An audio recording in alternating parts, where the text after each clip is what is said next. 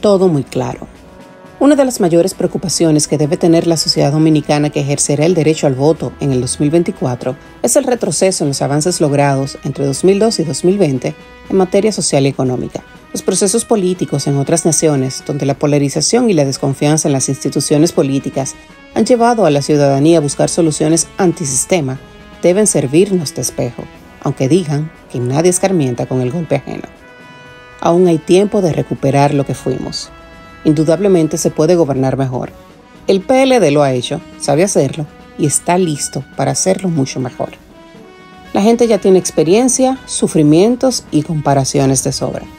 Muchos ya saben que no solo votaron al PRM, votaron al PRM y al retroceso, a la visión politiquera que les ha destruido el presente y parte del futuro. Aunque se sostengan en los mercaderes de la información, en los verdugos de la objetividad, en aquellos a quienes no les interesa la política que sirve, sino de la que se sirven, para mucha gente todo está muy claro.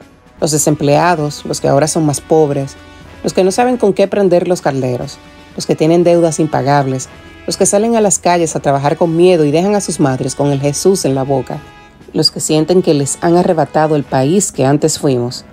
Ellos y muchos otros lo tienen todo muy claro.